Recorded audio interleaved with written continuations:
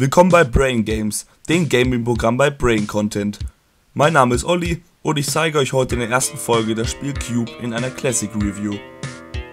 Was zum Fick ist das denn? Ja, es ist nicht gerade das neueste Spiel. Das Originalspiel von Walter Art Apple von Ortermeisen. Was ist das für ein Name? Was? Art Apple? Ah. Wurde ursprünglich 2001 veröffentlicht. Seit 2001 wurde dann das Spiel von der Community weiterentwickelt, was dann der Ursprung für den Nachfolger war. Man geht aber davon aus, dass 2005 die endgültige Version von Teil 1 von Cube fertig war. Ich möchte in dieser Folge dann nur auf den ersten Teil des Zweiteilers eingehen.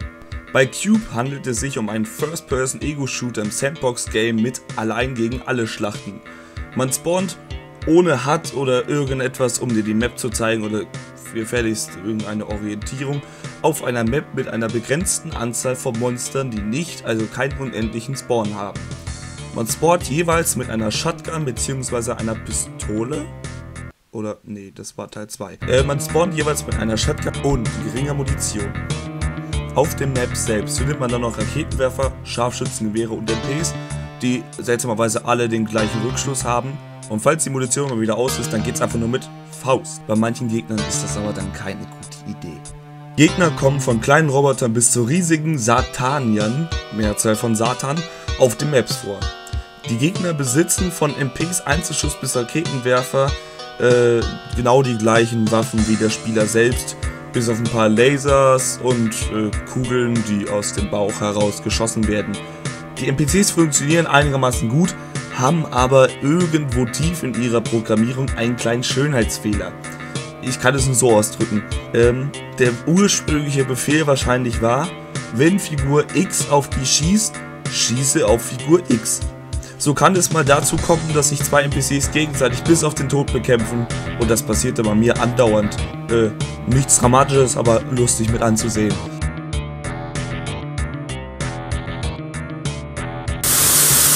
Interessant ist auch, dass es NPCs gibt, die gar keinen Schaden am eigenen Charakter äh, hinterlassen. Beziehungsweise gibt es auch die Scharfschützen, die dich gar nicht erst angreifen, bevor du sie angreifst. Fällt aber kaum auf, weil schon genug Monster auf dich eindreschen.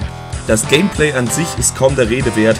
Äh, alles abknallen, Frags zählen und zum Schluss eine Art Rangliste, was für mich eigentlich total belanglos war. Für mich war einfach nur geil, dieses Allein gegen alle. Kommen wir zu den Maps und schließlich der Grafik.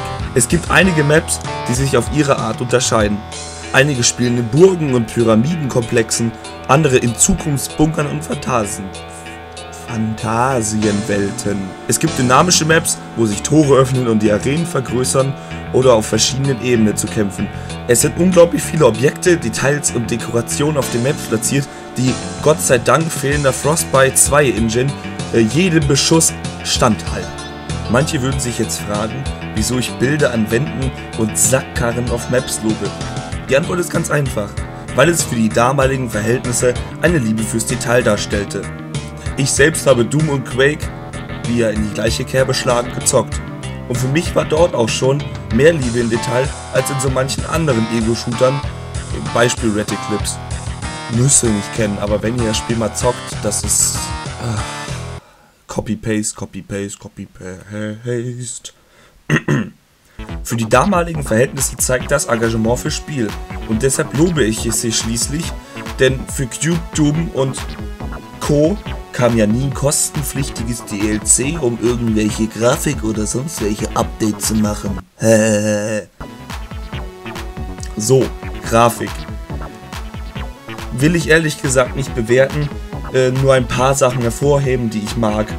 Eins davon sind manche Lichteffekte in dunklen Kammern. Manche Objekte finde ich ziemlich gut, von den NPCs abgesehen, bis auf den kleinen Grafik-Programmierlogikfehler. Zack, da stirbt dann Flirtenhelm, aber er trägt ihn noch auf dem Kopf. Mysteriös.